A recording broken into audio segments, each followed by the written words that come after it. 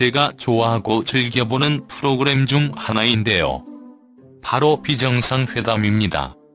매주 월요일 10시 50분에 월요병이 지친 몸을 웃음으로 만들어주는 프로그램이죠.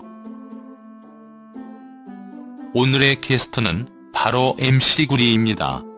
비정상회담의 래퍼 MC구리가 한국 비정상 대표로 출연해 어른의 조건에 대해 이야기를 나누었습니다.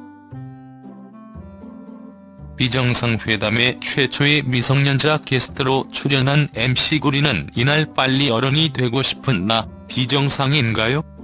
라는 안건을 통해 멤버들과 어른의 조건에 대한 글로벌 공감 토크를 선보였습니다.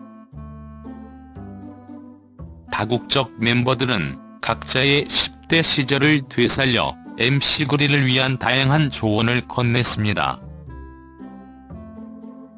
먼저 기욤은 나도 어렸을 때에는 할 수 있는 일이 많지 않아서 형들이 하는 건 다 부러웠다며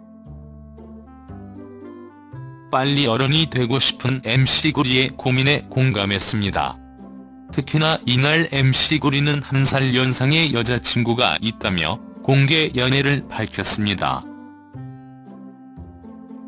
그리고 이날은 김영란법에 대해서 각국의 부정부패 스캔들을 공개하며 각 나라의 청렴도에 대해서도 이야기를 나누었습니다.